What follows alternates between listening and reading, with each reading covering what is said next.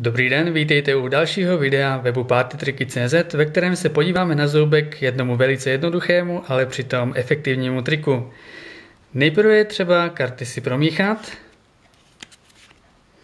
A teďka už jenom stačí mě zastavit. Můžete si říct, kdy chcete, kdy budete spokojení. Stop. Dobře. Nyní si karty rozdělíme na čtyři hromádky.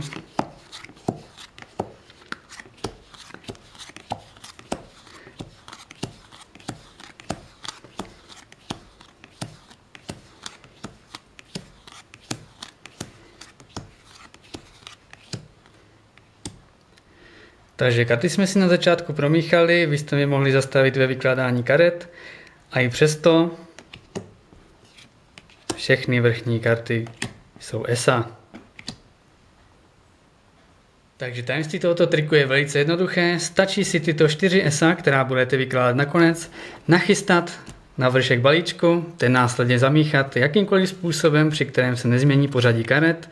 To jsme se učili v předchozích videích. A tyto karty budeme vykládat.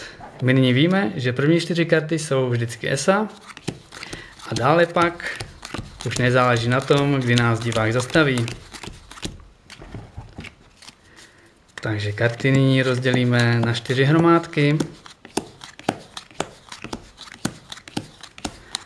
A my vždycky budeme vědět, že ta situace nemůže skončit jinak, než že na vrchu každé z hromádek bude ESO. Takže vám děkuji za pozornost, doufám, že jste se u dnešního videa něčemu naučili a já se budu těšit u příštího videa.